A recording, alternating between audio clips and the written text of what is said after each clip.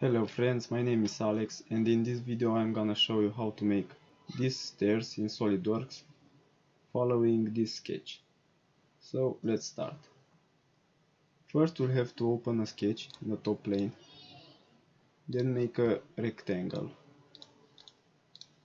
Let's define this. Here will be 40 millimeters and this side will be 50 millimeters. Then go to features, extruded boss base.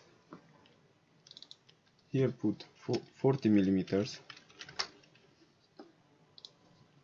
And now select this face and open a sketch. Normal To.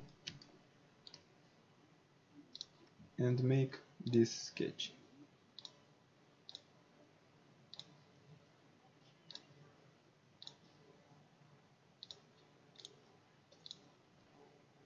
Let's define this. Here will be 10 millimeters. This line will be also 10 from this edge to this line 10 millimeters. This line 10 millimeters too. Now go to features extruded cut and here select uh, offset from surface and here at surface face pane select this surface okay and here put 10 millimeters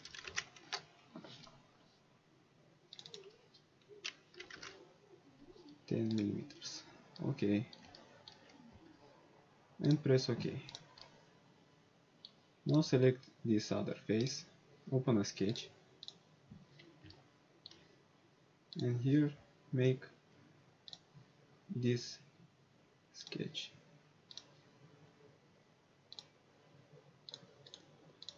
Let's define this. So this line will be 10 millimeters and this other line will be 20 millimeters okay. And as you can see from this line to this line are 71.657 degrees. So it's perfect. Now go to features extruded cut. Here is 10 millimeters and press ok. Now select this face open a sketch normal to and here make a triangle.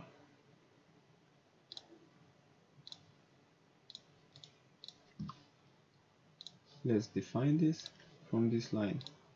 From this point to this edge will be 30 millimeters. And from this line to this line will be 45 degrees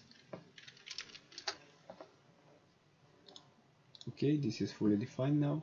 Go to features extruded cut. And here you can put 10 millimeters or you can choose through all. Or you can choose up to surface and here to select this surface. Any of this it's okay. And press ok the stairs are done. Now let's make them to be from stone. Go to appearance and here you have to go to stone architectural and select slate 2d drag it to the stairs and here select body. And the stairs are ready to be used. Thank you for watching and if you like this video please leave a like or subscribe or a comment with your opinion about what I am doing. It will be very helpful to me. So I, I will be waiting for you in the next one. See you.